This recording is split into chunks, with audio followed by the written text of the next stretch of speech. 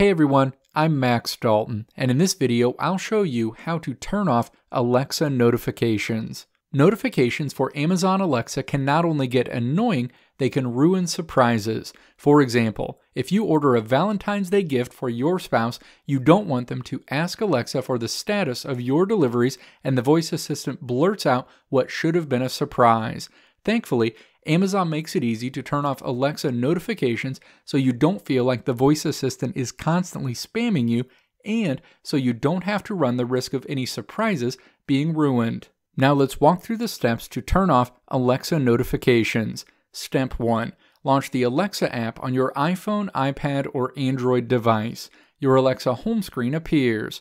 Step 2. Tap the menu icon in the upper left corner of the screen a menu flies in from the left side of the screen. Step 3. Select Settings in the menu. The settings screen appears. Step 4. Tap Notifications in the settings menu. The notification screen appears.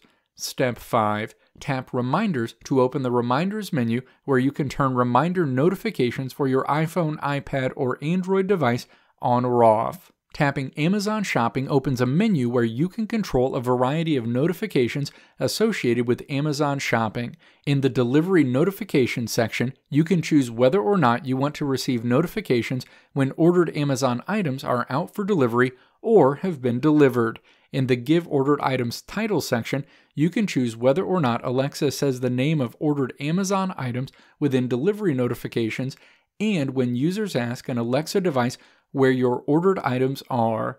The reorder notification section is where you can toggle notifications on and off for notifications when Alexa thinks you're running low on items you frequently order. And finally, in the product questions and answer notification section, you can choose whether or not to receive notifications when either someone answers a question you've asked about a product or when customers have questions about products you've purchased. Back to the notifications menu, you can also control whether you receive notifications for new answers to questions you've previously asked Alexa in the Answer Updates section. And finally, in the Things to Try section, you can turn off notifications for new things Amazon thinks you might like to try out with Alexa.